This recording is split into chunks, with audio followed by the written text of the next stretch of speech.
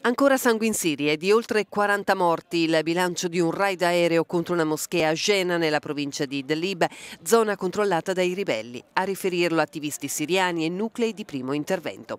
La cittadina si trova a ovest di Aleppo dove da tempo si sono rifugiati centinaia di migliaia di siriani in fuga dai combattimenti.